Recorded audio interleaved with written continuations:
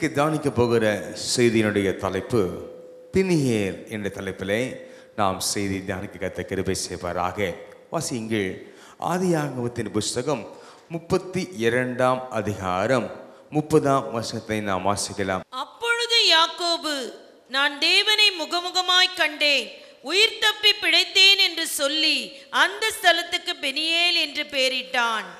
Peniel என்ற இடத்தின் வழியாக அருமையான அஹ், முற்பிதாவாயிருக்கிற யாக்கோவு என்ற அருமையான பட்சத்துவான் அவர் கடந்து செல்லும் பொழுது தேவன் ஒரு சில கிரியைகளை அந்த பீனியிலே பெனியலிலே கர்த்தர் அவருக்கு செய்ததை நாம் காணலாம்.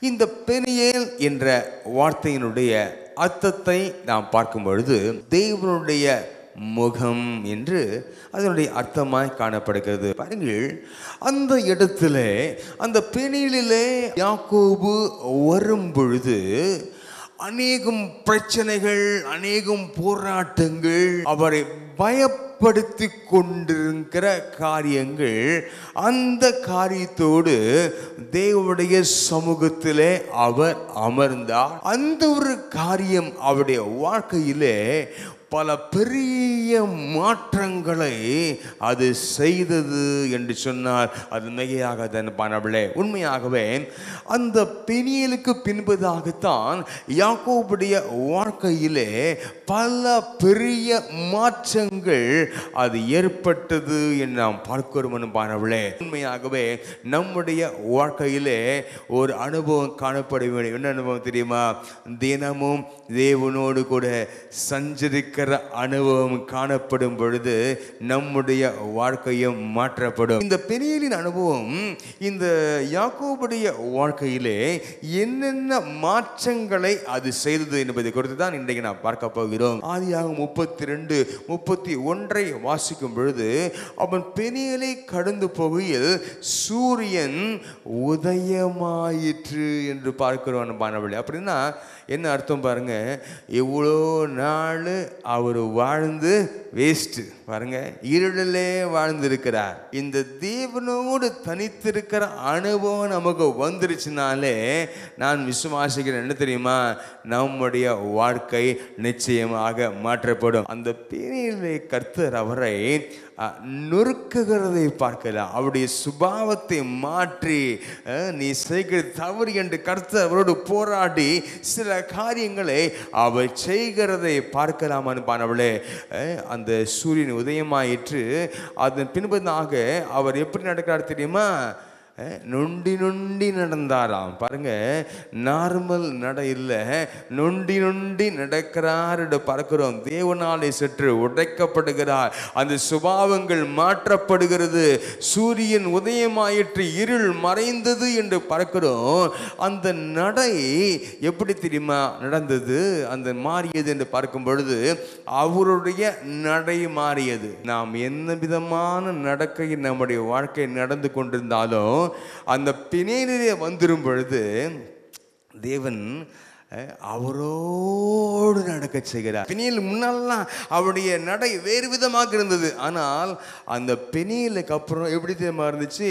நொண்டி நொண்டி நடக்கிறது என்று சொல்வது ஒரு பலவீனத்தினாலே அல்ல பலவீனத்தினாலே அல்ல ஒரு தேவனுடைய பலனோடு கூட நடக்கிற ஒரு அனுபவத்தை காட்டுகிறது அன்பானவளே உண்மையாகவே நம்முடைய நடைகள் தேவனால் உறுதியப்படும். விசுவாசிக்கிறீங்களா அந்த நடை தேவ நடையாக அது மாறும் பொழுது சூரியன் உதயமாகும் இருள் மறையும் என்று பார்க்கிறோம் அன்பானவளே தேவனோடு நடக்க ஆரம்பித்தார். அப்போ அந்த நடை எப்படி காணப்பட்டிருக்கும் என்று பார்க்கும் பொழுது மாமிசம் மாறி ஒரு தெய்வீகம் வந்தது. அது மட்டுமல்லாமல் அந்த ஆதியாக முப்பத்தி மூன்றாம் அதிகாரத்திலே தான் ஒரு பெரிய சவால் அவருக்கு காத்திருந்தது. ஒரு பெரிய சவால் காத்திருந்தது. என்ன தெரியுமா? அவருடைய அண்ணனாகிய ஏசாவை பார்க்கணுமே.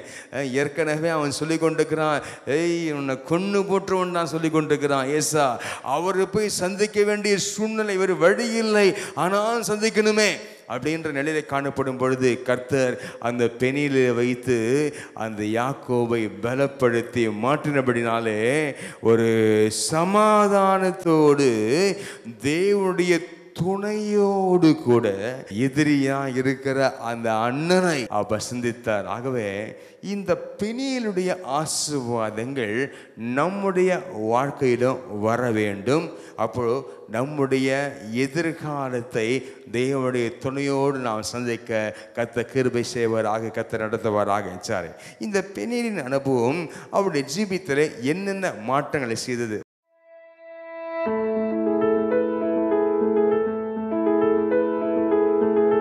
வாசிக்கலாமா? ஆதியாக முப்பத்தி இரண்டாம் அதிகாரம் இருபத்தி எட்டாம் வசதியை வாசிங்க. அப்பொழுது அவர் உன் பேர் இனி யாக்கோபு எனப்படாமல் இஸ்ரவேல் எனப்படும். தேவனோடும் மனிதரோடும் போராடி என்றார்.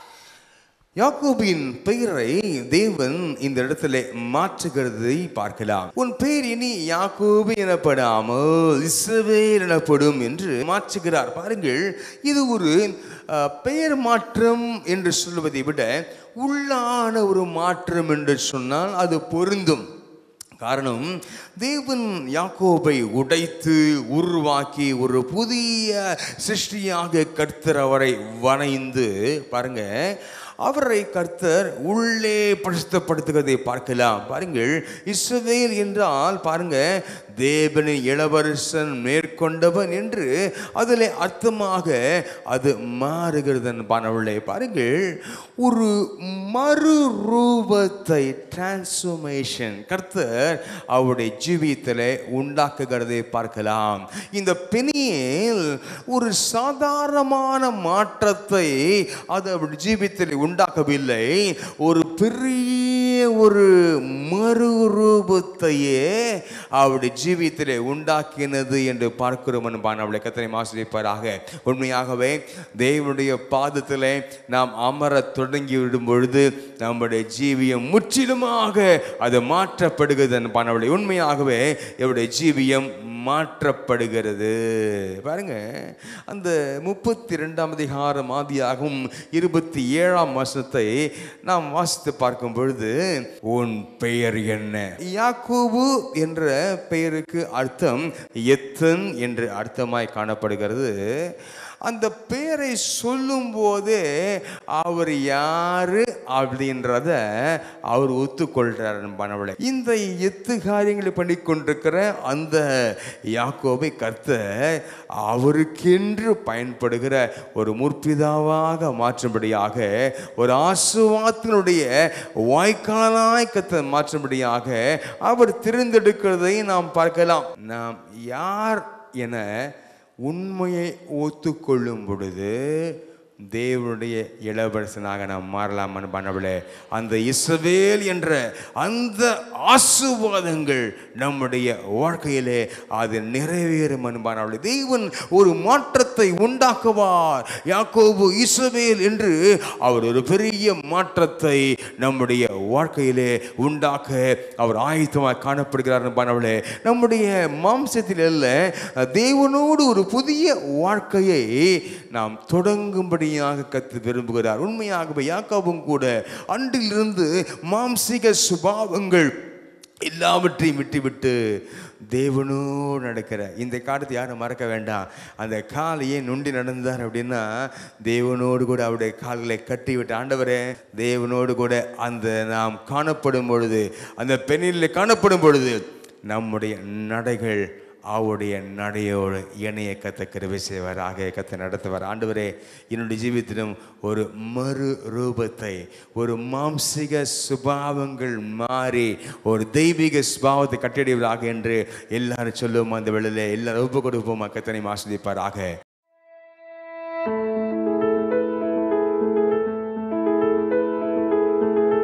ஆதகம் முப்பத்தி ஐந்து பதினொன்றை வாசிங்க.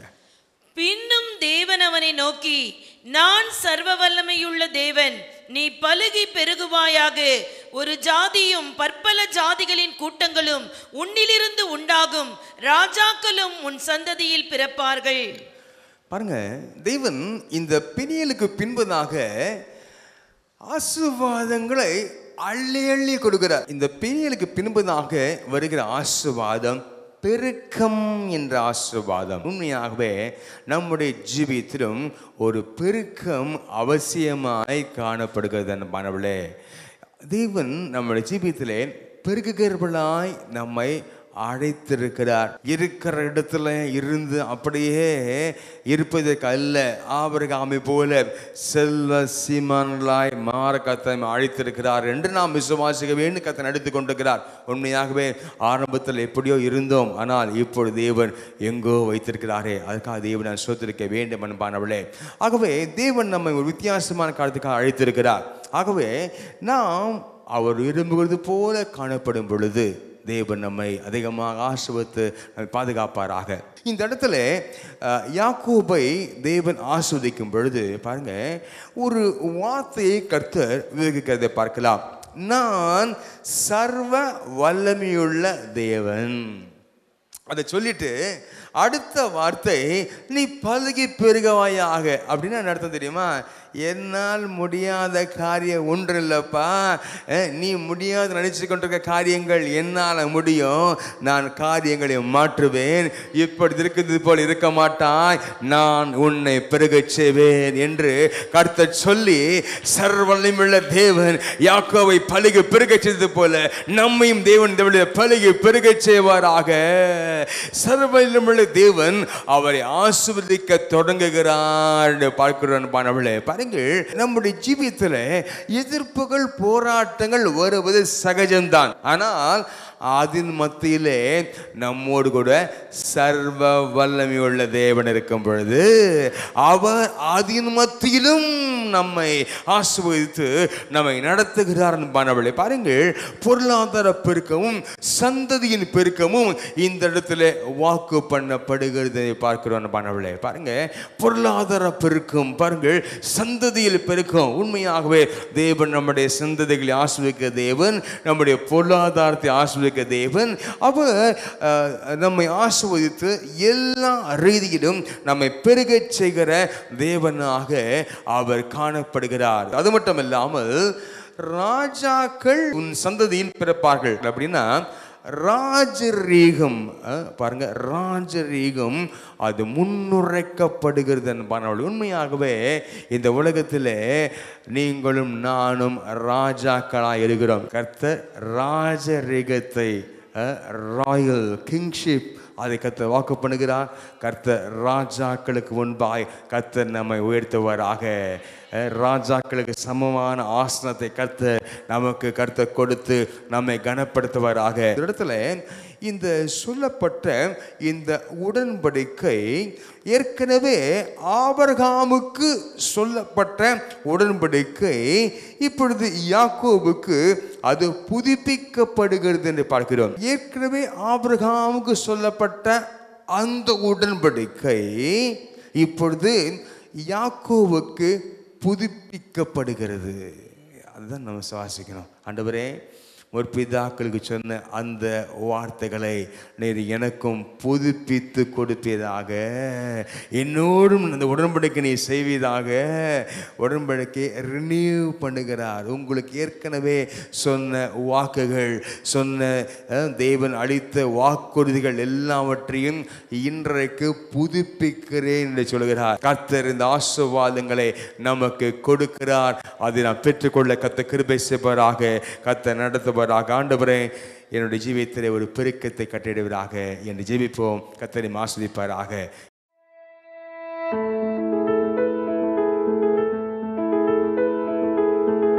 மூன்றாவதாக பார்க்கலாமா? ஆதியாகமம் முப்பத்தி ஐந்து பன்னிரெண்டு.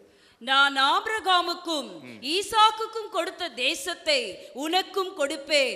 உனக்கு பின் உன் சந்ததிக்கும் இந்த தேசத்தை கொடுப்பேன் என்று சொல்லி. பாருங்க தேசத்தை கொடுப்பேன் என்று வாக்கு பண்ணுவதை பார்க்கலாம். பாருங்கள் இதில் பார்க்கும் பொழுது ஒரு சுதந்தரிப்பின் ஆசுவாதம் என்று பார்க்கிறோம். சுதந்திரித்தல் இன்ஹெரிட்டன்ஸ் பாருங்கள் அந்த தேசத்தை தேவன் நமக்கு கொடுத்திருக்கிறார். உண்மைதான். நமக்கு என்னென்ன ஆசுவாத்தை நாம் இன்னும் சுதந்திரிக்கவில்லையோ ஜெபித்து கொண்டுக்கிறோமோ அந்த ஆசுவாத்தை நாம் சுதந்திரித்து கொள்ள போகிறோம். தேவர் உண்மையாகவே பிரயாசப்படாமல் ரெடிமேட் தேசத்தை அவளுக்கு கொடுத்தது போல பாருங்க கொஞ்சம் யோசித்து பாருங்க பார்க்கலாம் இந்த நாட்களில் பல வீடுகளை பார்க்கும் பொழுது ஃபர்னிஷ்ட் ஹவுஸாக பண்ணுவாங்க. கொடுப்பாங்க.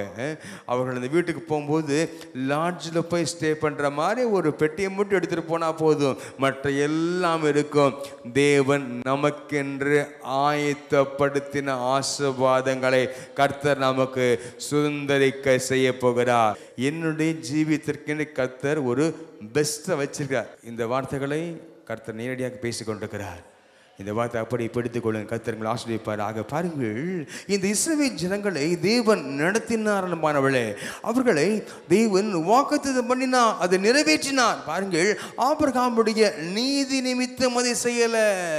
தேவனுடைய கிருபையினாலே ஆபரகாமை அழைத்தார். அவருடைய நீதியை பார்த்தால் ஒன்றுமில்லை. தேவன் ஆபம் அழைத்தார் பார்க்கிறோம். முற்பிதாக்களுக்கு தேசியத்தை கொடுத்தார் என்பானவளே எகிப்திலே யூதர்களை காத்தார். தமது பலத்தை கருத்தினால் அவளை அந்த நிலையிலிருந்து விடுவித்தார். பாருங்கள் இந்த ஆசுவாதை கொடுப்பதற்கு தேவன் எவ்வளவு ஆயத்தத்தை இதை செய்கிறார் தெரியுமா? பாருங்கள் அந்த எகிப்தில் யூதர்களை பாதுகாத்து அவளை பலத்த கருத்தினால் விடுவித்தார்.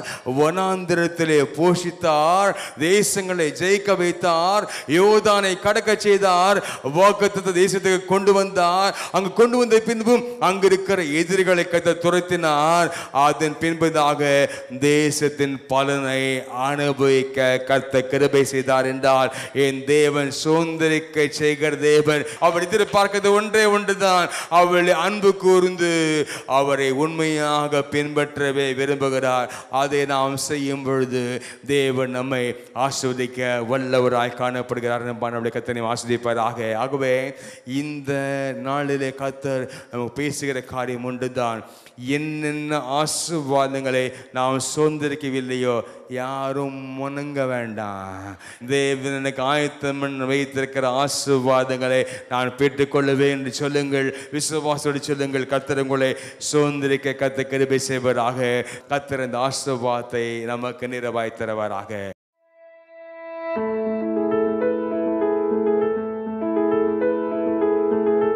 கடைசியாக ஒன்றிதான் முடிக்கலாமா?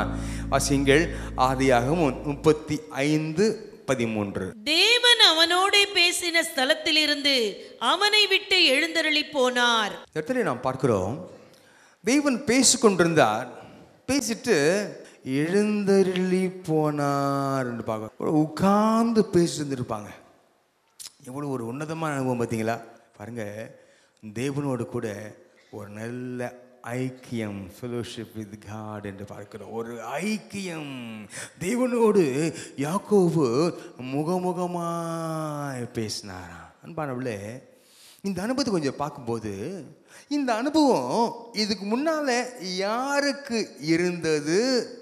என்று பார்க்கும்போது இந்த யாக்கோபுடைய தாத்தா ஆபரகாமுக்கு இருந்திருக்குது அன்பானவளே முற்பிதாக்கள் தேவனோடு கொண்டிருந்த அந்த ஐக்கியம் இந்த யாக்கோபுக்கும் வரணும்னு கற்று விரும்புகிறாரு அன்பானவளே முற்பிதாக்கள் எப்படி ஐக்கியமாக இருந்தாங்க அந்த காரியம் நமக்கு வரணும். அப்படின்னு விரும்புகிறார் அன்பான். நம்முடைய தாய் தகப்பன் நம்முடைய முற்பிதாக்கள் அப்படி எப்படி ஜீவித்தாங்க? அந்த அளவிற்கு ஐக்கியம் வர வேண்டும் வளர வேண்டும் என்று அவர் எதிர்பார்க்கிறார் அன்பானவளை ஏன் தெரியுமா கத்தர் பரலோகத்திலிருந்து இறங்கி வந்துடுறாரு. வனாந்திர ஜீவியத்தில் யாக்கவு ரொம்ப கஷ்டப்பட்டான். என் மாமனார் வீட்டில் ரொம்ப ஆடிச்சு நொறுக்கப்பட்டுட்டான். அதனால நாம் நேராக போயிட்டு வந்துடுவோம் ஒரு நட போயிட்டு வந்துடுவோம் அப்படின்ட்டு தேவன் இறங்கி அவனோடு கூட வந்து அவனை தேற்றுகிறார். வனாந்திர ஜீவியத்திலே யாக்கோபை தேற்றும்படியாகவே தேவன் இடைப்பட்டது போல உங்களுடைய ஜீவியத்தில் சில காலகட்டங்கள் சில தருணங்களை நீங்கள் கடந்து செல்லும் பொழுது தேவனுடைய இடைப்படுதலை நீங்கள் காண கத்த கிருபை செய்வாராக. அந்த சூழ்நிலை இன்னைக்கு நீங்கள் கடந்து வந்து என்றால் கர்த்தர் உங்களை சந்திக்கும்படியாகவே இன்றைக்கு வந்து உங்களோடு பேசிக்கொண்டிருக்கிறார். அவருடைய ஐக்கியப்பட கத்த விரும்புகிறார். உங்களோடு கூட உறவு கொள்ள விரும்புகிறார் பாண்டவளே உங்களோடு கூட தெனிலே முகமுகமாய் பேச விரும்புகிறார் பாண்டவளே ஹாலே லூயா ஹாலே லூயா ஆதியாகம் இருபத்தி எட்டு பதினேழுல அவன் பயந்து இந்த ஸ்தலம் இவ்வளவு பயங்கரமா இருக்கிறது. இது தேவனுடைய வீடு இல்லாமல் வேற இல்லை இது வானத்தின் வாசல் என்று சொன்னாரே. இருபத்தி எட்டு பத்தொன்பதுல அந்த ஸ்தலத்திற்கு பெத்து ரெண்டு பெயரிட்டான் பார்க்கிறோமே. பெத்தேர் என்று சொல்லும் பொழுது தேவனுடைய சொல்லுங்க வீடு. பெத்தேர் சொல்லுவது ஹவுஸ் ஆஃப் காட் தேவனுடைய வீடு என்று பார்க்கிறோம் பானவளே அப்போது தேவனோடு ஐக்கியம் கொள்ள வேண்டும் என்று சொல்லும் பொழுது பாருங்கள் நம்முடைய வாழ்க்கை அது பெத்தேலாக மாறும் பொழுது என்ன? தேவனுடைய வீடாக மாறும் பொழுது அவர் நம்மிலே வந்து தங்கும்போது அவருடைய வீட்டை போல உணர வேண்டும் என்று பார்க்கிறோம். ஆகவேதான் பவுல் சொல்கிறார் எபேசியர் மூன்று பதினேழிலே விசுவாசத்தினாலே கிறிஸ்து உங்கள் இருதயத்தில் வாசமாயிருக்கவும். நீங்கள் அன்பிலே வேறொன்று நிலை பெற்றவர்களாகி என்று வாசிக்கிறோமே எபேசியர் மூன்று பதினேழிலே அவர் வந்து நம்முடைய இருதயத்திலே வாசமாக இருக்கும் பொழுது நம்முடைய இருதயங்கள் எப்படி திரும்ப இருக்க வேண்டும்? பெத்தேலாய் மாற வேண்டும். சொல்லுங்க பார்க்கலாம். பெத்தேலாய் மாற வேண்டும். தேவனுக்கு பரலோகத்தில் இருக்கிறதுக்கும் நம்முடைய இதயத்தில் நம்முடைய வாழ்க்கையிலே வாசமாக இருக்கிறதுக்கும் ஒரு வித்தியாசம் காணப்படக்கூடாதன் பானவளே. அவருடைய பிரசன்னத்தை வாஞ்சிக்கிறவளாய் நாம் காணப்படும் பொழுது உண்மையான பெனியருடைய ஆசுவாதங்களை நாம் பெற்றுக்கொள்ள கத்த நமக்கு கிருபை செய்வாராக கத்த நடத்துவாராக. முதலாவதாக பெனியல் செய்த காரியம் ஒரு பெரிய மறுரூபத்தை யாக்கோபின் ஜீவித்தலை உண்டு பண்ணினது என்று பார்க்கிறோம். இரண்டாவதாக ஒரு சுதந்திரிப்பின் ஆசுவாதி உண்டு பண்ணினது என்று பார்க்கிறோம். மூன்றாவதாக பாருங்கள் மறுரூபம் பெருக்கம் ஒரு சுதந்திரித்தல். நான்காவதாக தேவனோடு ஒரு ஐக்கியம். ஆண்டவரே உம்மோடு கூட ஒரு ஐக்கியம். அதை நான் இன்றிருந்து பரிபாலிக்க விரும்புகிறேன் அப்பா மறுரூபத்தை கொடுப்பதாக பெருக்கத்து கொடுப்பதாக சுதந்திரத்தை கொடுப்பதாக உம்மோடு கூட ஐக்கியத்தை கொடுப்பீராக. எங்கள் நேசிக்க நல்ல பிதாவே இந்த அருமையான விளக்காய் எடுத்திருக்கிறோம் ஐயா. அப்பா யாக்கோவுக்கு ஒரு பேனியிலே கட்டையிட்டீர் ஆண்டவரே. உம்முடைய முகத்தை நோக்கி பார்த்து ஆண்டவரே தனித்திருக்க கிருபை செய்திரே தனித்திருக்க கிருபை செய்திரே. அதுபோல் எங்கள் ஜீவித்திரம் ஐயா. உம்முடைய கரம் கொடு இருந்த ஆண்டவரே பெண்ணிலே கட்டிடுவதாக அதன் மூலமாக அவளை ஜீவியத்தை மறுபடுத்தினப்பா மாம்சிக நடக்கைகள் எல்லாம் மாறி ஆவிக்குரிய உம்மு நடக்க நிற்கிறது கொடுத்தீரே. துடிக்கிறோம் ஐயா. சந்ததியின் ஆசுவாதம் இல்லாத பிள்ளைகளுக்கு இந்த வேளையிலே அந்த ஆசுவாதை பெற்றுக்கொள்ள நீ கிருபை அந்த வாக்கு நிறைவேற்றுவிடாக ஆண்டவரை சுந்தருக்கு கிருபை செய்வதாக. நீர் வாக்கு பண்ண ஆசுவாதங்கள் எல்லாம் அப்படி சொந்தக்கு கிருபை செய்வதாகப்பா. உம்மோடு ஐக்கியப்பட கிருபை செய்வதாக. ஆண்டவரே நீர் எங்களில் வாசமாக இருக்கிற அனுபவம் உம்முடைய வீட்டிலே நீர் வாசமாக இருப்பது போல. சகல ஆண்டவரே ஆசுவாக நாங்கள் பெற்று கிருபை செய்து நீ சகல உரிமையோடு சொல்லுங்க உரிமையோடு கூட நீ எங்களை தங்கியிருக்கணும் ஜெபிக்கிறோம் ஐயா. உடைய கரம் கூட இருக்கட்டும் அந்த பெணியின் அனுபவத்தை நீ ஆசிரிப்பதாக இயேசுவின் நாமத்தில் பிதாவே ஆமேன் ஆமேன் ஆமேன் ஆமேன். Pastor P. ஸ்டீஃபன் அவர்களால் ஸ்தாபிக்கப்பட்ட பல்லாவரம் அப்போஸ்தல கிறிஸ்தவ சபை அவருடைய மறைவுக்கு பின் பாஸ்டர் எஸ். விசுவாசம் அவர்களால் தொடர்ந்து நடைபெற்று வருகிறது. ஒன்றுமில்லாமையில் ஆரம்பிக்கப்பட்ட இந்த சபையானது இன்றைக்கு ஆயிரக்கணக்கான ஆத்துமாக்களை கொண்டதாக மாற கர்த்தர் கிருபை செய்தார். உங்களுடைய பிரச்சனைகளுக்காகவும் ஜப குறிப்புகளுக்காகவும் மேலும் இருபத்தி நான்கு மணி நேரமும் ஜெபிக்க நாங்கள் ஆயத்தமாக இருக்கிறோம். போதகரை நேரில் சந்தித்து ஜெபித்துக் கொள்ள நீங்கள் உடனே எங்களோடு தொடர்பு கொள்ளுங்கள். நீங்கள் தொடர்பு கொள்ள வேண்டிய முகவரி பாஸ்டர் எஸ் விசுவாசம் அப்போஸ்தல கிறிஸ்தவ சபை பனிரெண்டு ஏ ஈஸ்வரி நகர் பல்லாவரம் சென்னை நாற்பத்தி மூன்று தொலைபேசி எண் இரண்டு இரண்டு ஆறு நான்கு இரண்டு இரண்டு ஒன்பது ஒன்பது.